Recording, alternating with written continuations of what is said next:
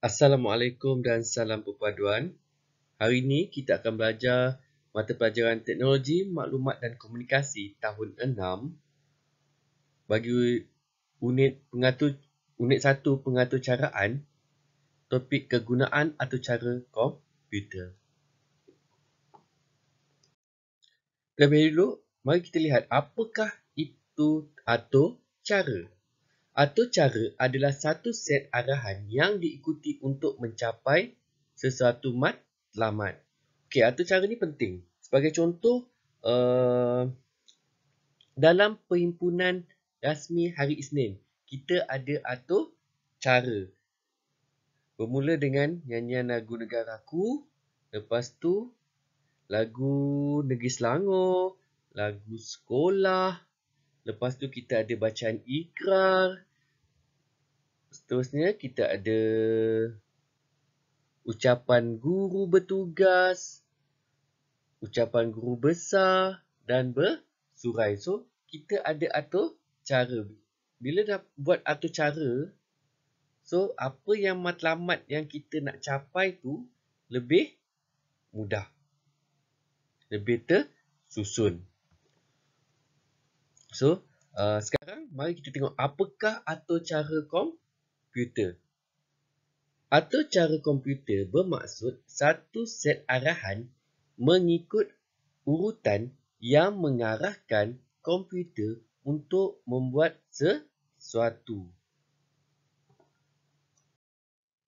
Atur cara komputer terdapat dalam pelbagai perkasan harian termasuk di dalam rumah. Sesetengah perkakasan harian tersebut mempunyai komputer benam. Ingat lagi komputer benam?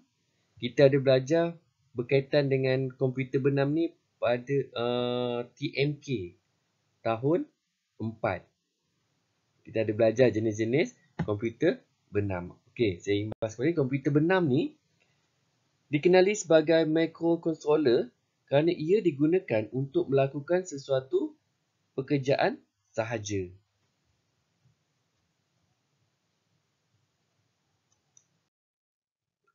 Ini adalah contoh perkakasan harian yang mempunyai atur cara komputer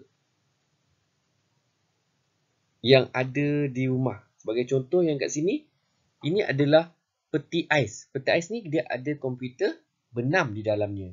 Sebab apa? Dia boleh dia boleh menentukan suhu yang sesuai untuk menyimpan makanan.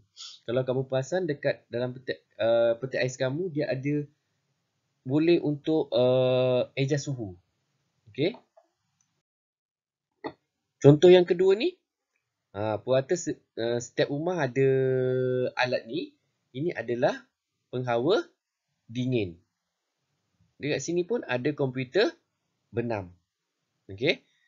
Ia membolehkan penetapan pengesanan dan menyelaras suhu bilik berdasarkan isyarat yang diterima daripada pengguna. Mari kita tengok contoh seterusnya yang yang ada komputer benam. Ha. Ini apa? Ya, betul. Ini adalah mesin basuh automatik. Ha. Berbeza ya, murid. Mesin basuh automatik dengan mesin basuh manual dua jenis yang berbeza. Yang manual tiada komputer benam. Tetapi yang mesin basuh automatik dia ada komputer benam.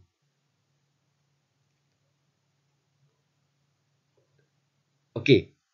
Yang automatik ni fungsinya bila dah ada komputer benam membolehkan pengesanan berat muatan dan menentukan cara basuhan tempoh bilasan dalam mas dalam masa putaran.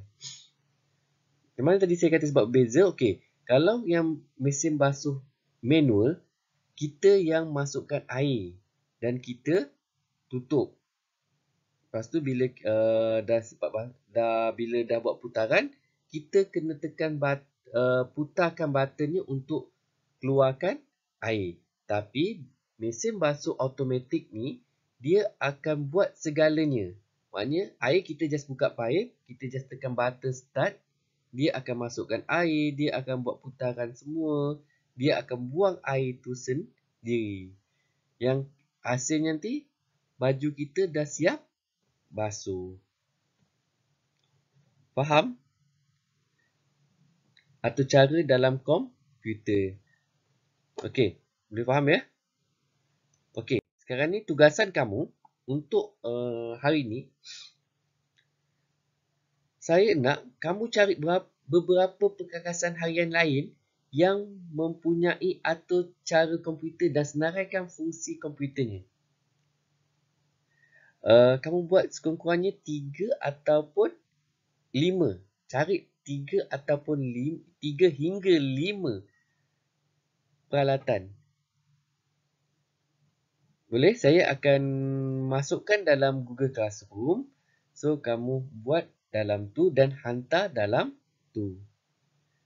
Tugasan hari ini akan ada kaitannya dengan pembelajaran kamu untuk minggu hadapan. Saya harap kamu dapat menyelesaikan tugasan hari ini untuk memudahkan kita pada tugasan uh, pada pembelajaran pada minggu hadapan. Okey, itu saja untuk hari ini. Sekian. Terima kasih. Assalamualaikum dan salam sejahtera. Stay safe, stay safe dan stay stay at home. Okey, itu saja. Sekian. Assalamualaikum.